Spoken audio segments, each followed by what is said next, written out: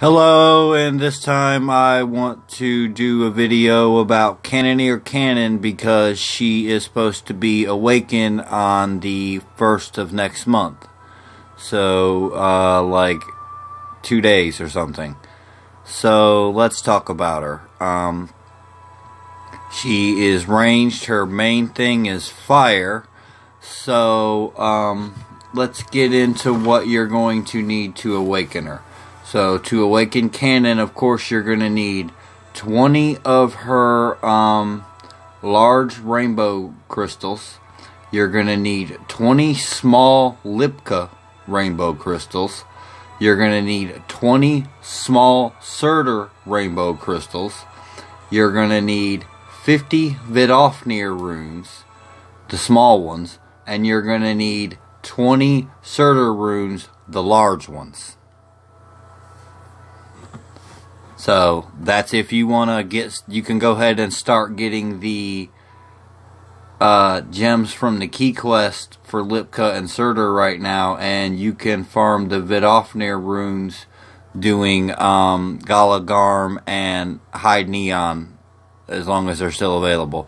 But I imagine as soon as the awakening, the day the awakening comes, that uh, it'll be probably easier to farm and be more stamina efficient unless they jack the stamina level back up to 60.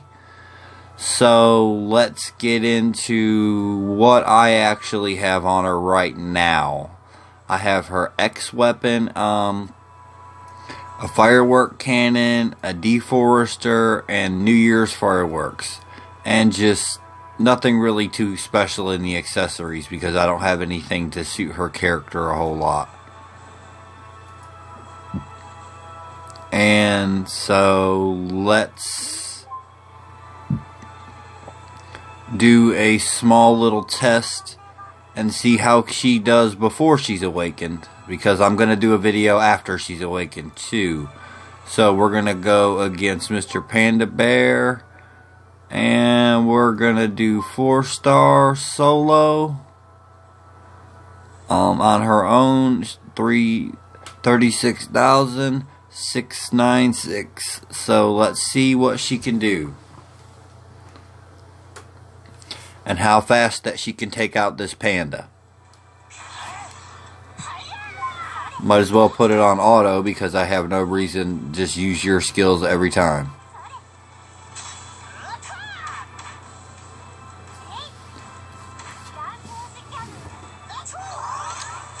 As soon as um, cannons skills start going and stuff, that this fight will be over pretty quickly.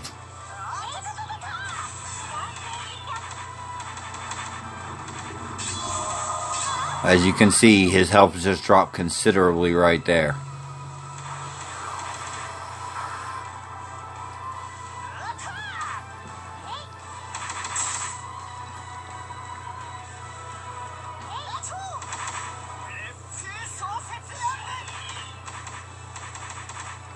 But as far as like keys go, on average for say like Lipka and the Surtur gems for the that's the ones you get from the key quest. Generally, I need at maximum seven gold keys.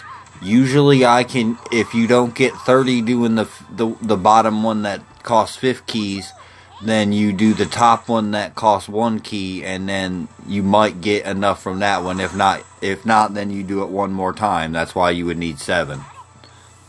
So I, I don't farm any more than seven gold keys because I never need more than that.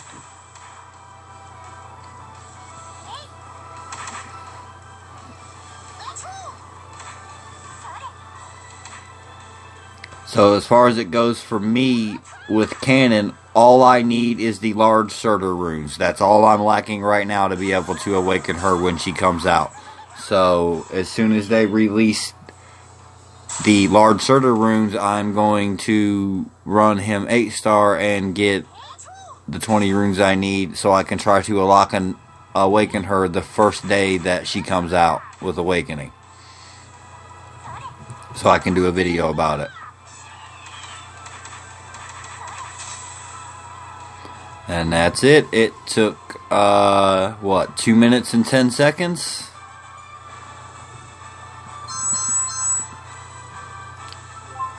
And she did over half a million damage on a four star.